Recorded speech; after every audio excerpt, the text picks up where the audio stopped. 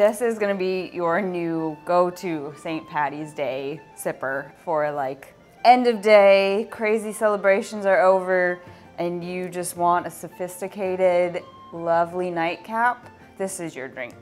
That aromatized wine brings in those mulled wine spices, but it's still light enough from the gin and the orange. Relax and sip on this cocktail. So, let's go shopping. For this cocktail, the Sassy Lass, we are going to use our Irish gin. It's made with gunpowder tea, a whole slew of botanicals and different citruses. It's slow distilled, it is small handcrafted and an absolutely beautiful gin that I'm excited to feature in this cocktail. So next we're gonna use Keeper's Heart, which is local, but made by an Irish distiller. So it's a very Irish style, sort of a blend Irish-American whiskey that is gonna be perfect for this cocktail. So we're gonna use our Vikre Aperitivo Classico, which is a bittersweet aperitivo with an infusion of rhubarb. Super unique, very fun.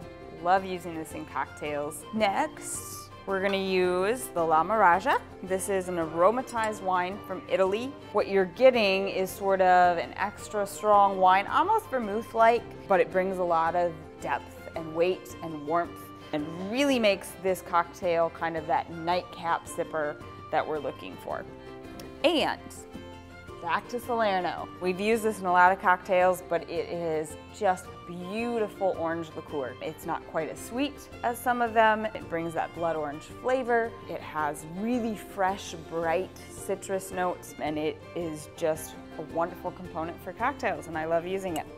So I'm gonna show you how to build a sassy lass, not raise one, which is what my parents did. one and a half ounces gin, half ounce La Miraja aromatized wine, half ounce Vikre Aperitivo, quarter ounce orange liqueur, quarter ounce Irish whiskey, ice, rocks glass with your rock,